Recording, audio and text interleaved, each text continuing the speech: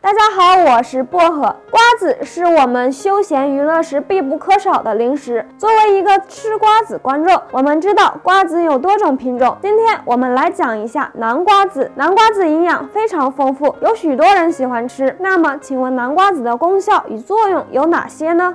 保护男性前列腺。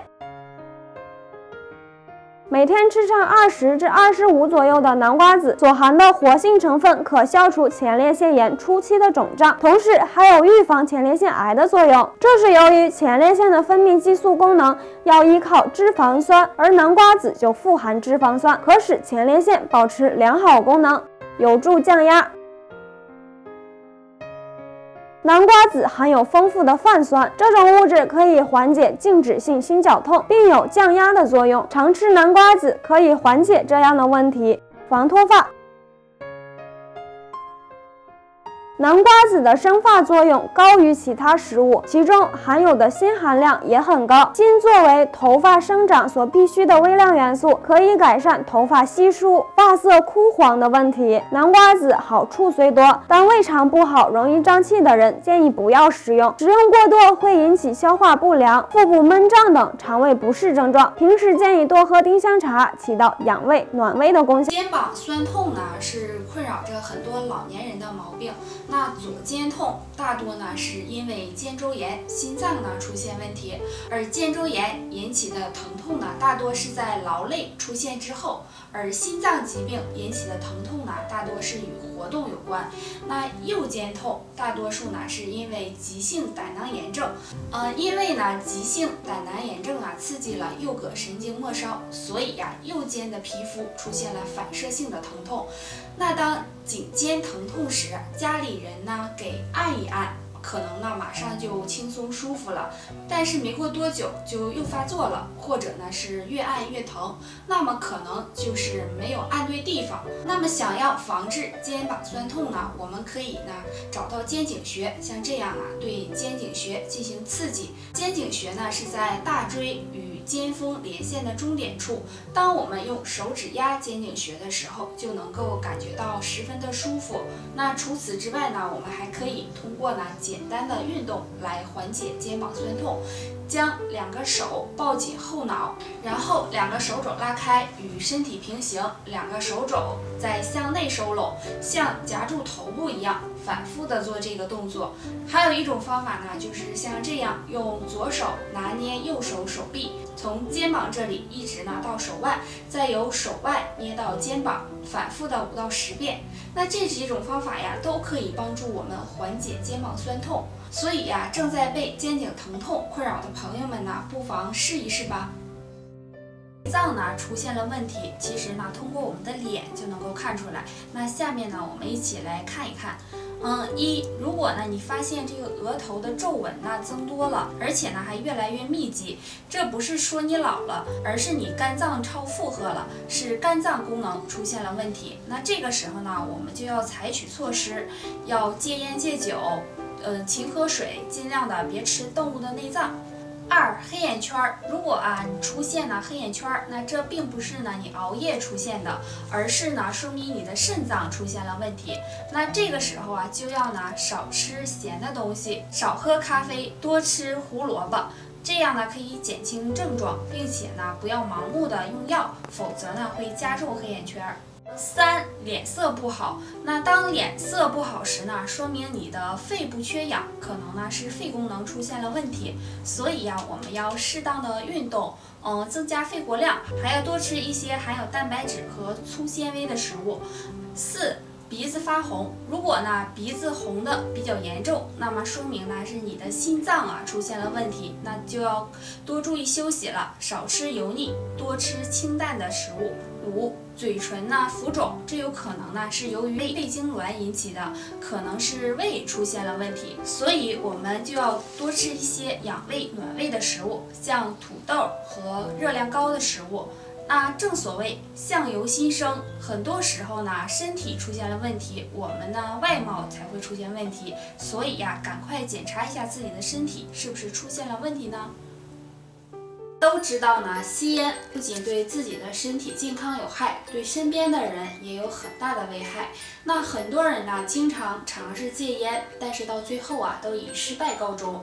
我们经常听说戒烟要有意志力，但是又有多少人真正的有意志力呢？其实呢，戒烟要有正确的方法。那下面呢，就给大家说几个戒烟的小窍门，大家呢不妨试一试。嗯，第一，可以呀，用替代品来代替香烟。想要一下子改变抽烟的习惯，肯定呢是不可能的。那我们就要呢循序渐进的，逐渐的减少抽烟的次数。最好啊能找到替代品。嗯，比如啊，当你想抽烟的时候，可以呀喝喝茶，吃点瓜子儿、水果，或者呢是嚼口香糖等等。第二，多找事情做，不要让自己呢闲下来。那经常抽烟的人，一有时间啊就想抽一根，很多时候呢都不受控制，很多人呢也因此成为习惯。但是啊，在戒烟期间，就要呢自己多找一些事情做。当时间空下来的时候，不妨啊去健身房运动运动，不要让自己呢太闲，这样自然而然的就不想抽烟了。那第三就是呢中医的穴位戒烟法。在列缺穴和阳虚穴之间的中点处呢，有一个甜美穴，用拇指用力的揉这里的时候呢，会有明显的压痛感。那当我们想要抽烟的时候啊，就用大拇指来掐揉这个穴位三十到五十次。嗯，这是因为啊，这个穴位可以破坏吸烟产生的愉悦感，使你呢产生口渴、口苦、头晕的症状，对香烟产生厌恶的感觉，让你啊不再想抽烟。那这个方法呀，适合所有的吸烟者，但效果呢也要因人而异，要长期坚持。压是很多中老年人的烦恼，按摩穴位可以起到降血压的作用。那其实啊，是在我们手上就有呢两个血压反射区。就在我们中指的两侧，在挨着食指的这一侧呢是高压反射区。如果有高血压的人，就可以经常按摩挨着食指的这边。还有呢，挨着无名指这一侧呢是低压反射区。那这两侧高压和低压呢要弄清楚了再按摩，不要呢弄反了。如果高压的人按低压反射区，那时间长了血压呢会升得更快。那一般情况都是高血压的人要比低血压的人要多一些，所以高血压的人可以每天用拇指来推高血压反射区这边，从指根部往上推，推个三分钟到五分钟就行。那其实呢，还有一个反射区对降血压有很好的作用，就是心脏反射区。它在我们的拇指直下来的这个地方，推按的时候也是用拇指，或者是利用刮痧板也可以推按三分钟到五分钟就行。那有高血压的人，平时有时间的时候呢，就可以对这两个反射区推一推、揉一揉，就能够起到很好的降血压的效果了。要养心，抑郁伤心，注重养生，先要养心。大家好，我是你们的好朋友小木子。心脏病啊，是我们常见的疾病，危害着我们的生命健康。那有时候还会带来呼吸不畅、呼吸困难等症状。那么出现这种情况时，我们可以通过简单的穴位按摩，达到有效的治疗、预防的作用。一、按摩至阳穴。至阳穴是在我们这个后背。当我们低头的时候，在两个肩胛骨下缘的连线的中点处。那中医上讲，至阳穴呢是人体的阳气极致之处，经常按摩这里可以很好的补心阳。按摩时可以用两个手的拇指来用力的按压至阳穴，每天按摩五分钟到十分钟。通过按摩至阳穴，能够有效的缓解心绞痛发作、心慌、胸闷等症状。二、按摩神门穴。神门穴的位置啊就比较好找了，是在我们这个腕横纹尺侧，也就是呢靠小拇指的这一边。这里呢有一个凹陷的地方，就是神门了。那神门穴是保养心脏的重要穴位。当我们感觉到胸闷、胸痛、心慌、头晕、头痛的时候，就可以用拇指呢按揉这个穴位，每天按摩两次，每次三分钟左右，就可以缓解心脏病的这些症状。那平时没事儿的时候，按摩还能够起到保养心脏、预防心脏病的作用。啊，是我们经常会用到的调味品，那是炒菜、煮汤的时候必备的。那么你知道花椒还可以呢用来泡脚吗？用花椒热水泡脚有很多的好处，我们都知道，平时呢用热水泡脚对我们的身体呢就有很多的好处，而在热水中加入花椒，效果呢会更棒。那方法呀很简单，找一个棉布包五十克的花椒，然后呢用绳子系紧，加水煮开大约四十到五十度，然后把脚放进去泡，泡二十分钟左右，再用温水把脚洗干净就可以了。花椒呢可以反复的利用，每天睡觉前泡一次就可以。花椒啊本身呢有驱寒的功效，那中医上讲，花椒可以去除里寒，扶正阳气，对于寒性体质、手脚冰凉呢都有很好的改善作用。